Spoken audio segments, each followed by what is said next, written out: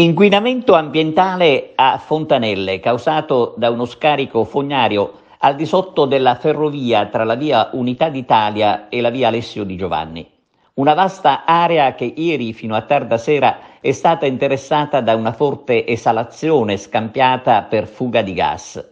Scattato l'allarme sono giunti sul posto nel primo pomeriggio i tecnici di Italgas Qualche ora dopo i vigili del fuoco del comando provinciale di Agrigento che hanno ispezionato gli allacci del gas dei condomini e i tompini.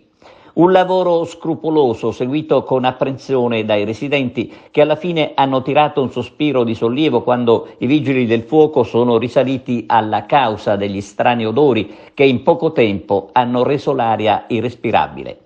Una presenza rassicurante sia quella dei vigili del fuoco che dei tecnici dell'Italgas, che non si sono risparmiati nelle verifiche, ma come sempre sono i vigili del fuoco preziosi nei loro interventi. Sul posto anche un dipendente dell'AICA, e a proposito di AICA, visto che per fortuna di puzza di fogna si è trattato, c'è da dire che finora non si è stati in grado di risolvere l'annosa questione dello scarico fognario che risale ai tempi di Girgenti Acque, che ha lasciato praticamente inascoltati le sollecitazioni dei cittadini, costretti d'estate addirittura a stare con le finestre tappate per la forte puzza di fogna.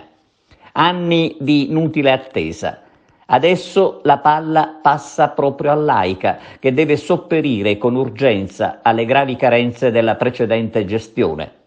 Ieri sera ci siamo messi in contatto con il responsabile del servizio alla luce di quanto accaduto e della causa che ha fatto vivere momenti di paura ai cittadini interessati.